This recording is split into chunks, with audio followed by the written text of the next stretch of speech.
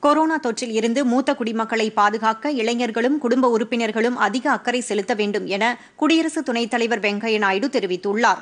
இதுகுறித்து சமூக ஊடகங்களில் கருத்துக்களை பதிவிட்டுள்ள அவர் கொரோனா பெருந்தொற்றால் மூத்த குடிமக்கள் அதிக அளவில் பாதிக்கப்படுவார்கள் என்பதால் அவர்களை பாதுகாக்க வேண்டும் என்று கேட்டுக் கொண்டுள்ளார். இதுகுறித்து முறையான விழிப்புணர்வுகள் ஏற்படுத்தப்பட வேண்டும் என்றும் அரசு அதிகாரிகளும் பொதுமக்களும் இதில் முனைப்புடன் இருக்க வேண்டும் என்றும் அவர் கூறியுள்ளார். பொதிகை செய்திகளை யூடியூபில் தமிழ் நியூஸ் தூர்தர்ஷன் என்ற சேனலிலும் முகநூலில் டிடி பொதிகை நியூஸ் என்ற பக்கத்திலும் ட்விட்டரில் டிடி நியூஸ் சென்னை என்ற பக்கத்திலும் இன்ஸ்டாகிராமில் டிடி பொதிகை நியூஸ் என்ற பக்கத்திலும் காணலாம். மேலும் உங்கள் கருத்துக்களை Podhigai DD news at Gmail dot com என்ற மின் அஞ்சலில் தெரிவிக்கலாம்.